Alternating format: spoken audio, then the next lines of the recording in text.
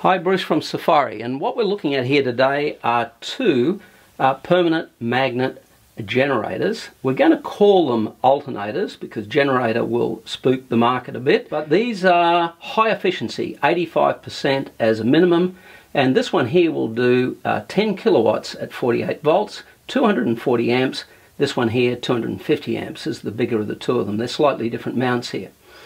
Uh, what a hybrid alternator is, is that the back of it here that you can see and why I'm focusing on it is because it's an inverter controller. There are no diodes in here and it's not like a, a remote regulator like a Wakespeed. This is high technology here and this is the same concept that's on an EV uh, but it's in generation mode.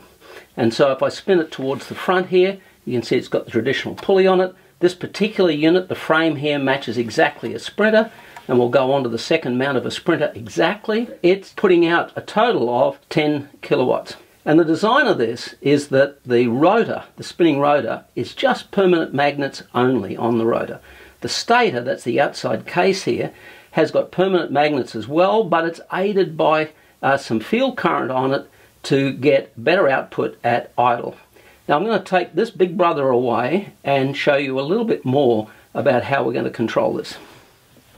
Now what we're showing here is our new Scotty AI, calling it V3 for 2025.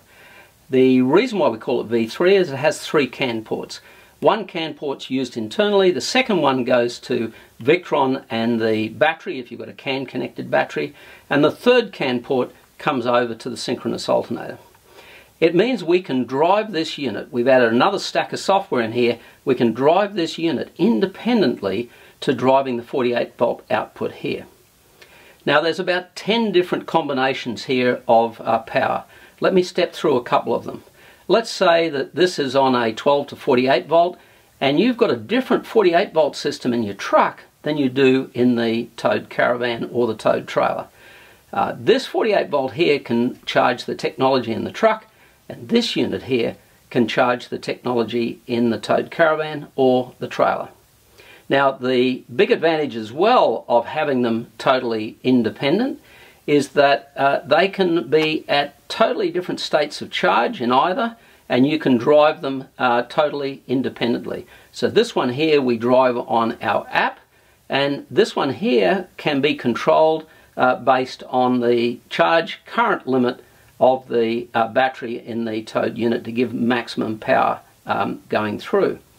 So the another combination we can have here is we can join the 48 volts up and have just 12 volt coming out of this side, totally independent to the starter motor, starter and the uh, starting battery.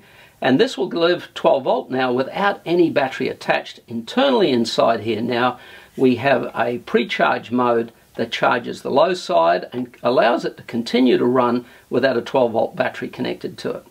Now if this is a 24 to 48 volt unit then you've got 24 volts uh, pouring out of here as well as 48 out of here. So you've got 48, you can have 48, a different 48 here, you can have 12 or 24 uh, coming out of here at the same time. Now if you join the two of them together then you're going to get the 3 kilowatts out of the Scotty plus the max power that you're getting out of the synchronous unit. Let's say with high temperature you can only get 7 kilowatts, then between the two you're still getting 10 kilowatts coming out, which is why we're saying we've got a 10 kilowatt combination here. Now it may be that you don't need 3 kilowatts, so we still have the 1500. It is now already available in the V3 mode. It has a third CAN port coming out of here, out of the harness, and it can also drive it in the same way. So at a much lower price, this combination here is going to give you maximum 48 volt charging and this is going to give you uh, a 1500 watts at 12 volts which will meet most applications in a vehicle. In the marine market with the winches and other loads it may be that you need the 3 kilowatt unit. So for 2025 now we have a new Scotty, new Scotty range and we've got what I consider to be the holy grail where we've got high efficiency uh, synchronous units to drive the power. How good's that?